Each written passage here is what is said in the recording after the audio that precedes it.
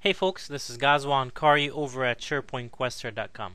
Yesterday, as I was discussing how we can better plan SharePoint migrations to a nice group of consultants, a question came up where we all wondered if there was a PowerShell command we can write to uh, list all site collections, site templates, and site IDs for a given web application, or list site template and site ID for a given site, or in general just list uh, all site templates available. So if there is a, a, chance where we have customized our site templates as we built sites on SharePoint 2007 or 2003 and now it's time for us to upgrade them to SharePoint 2010, uh, that piece of information, knowing the site template and the ID would definitely be helpful. Maybe we want to walk away from that template and, and go back to a standard template or maybe we want to uh, copy things as is. But knowing that information uh, can obviously be very crucial.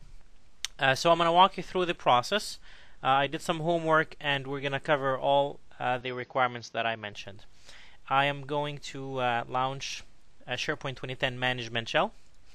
Uh, first of all, to get a list of all the sites within a web application just to see what we're working with, I'm going to paste uh, this command and uh, you'll see all the commands in the blog post itself.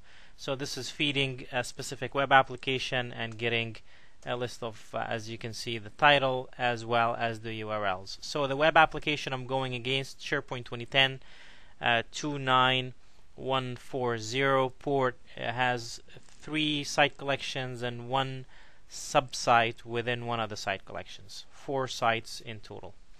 So uh, next, what we're going to do is get a list of all the site templates per site collection for this given web application. And I am going to again grab a snippet of code in here paste it. And this is what we're gonna get. We're gonna get uh, per again site collection. So this is marketing. It's got STS1 and for sales STS1 and for SharePoint Quester it's uh, off file 14483 which is record center.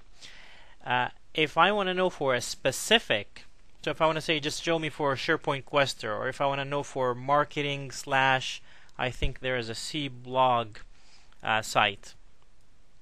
So if I want to know what specific site template and ID we have for that site, here's the uh, PowerShell command that's gonna generate that inf that information for us. So here I pasted uh, the specific site itself and it came back and it said this is uh, a blog site and the web template ID is 9.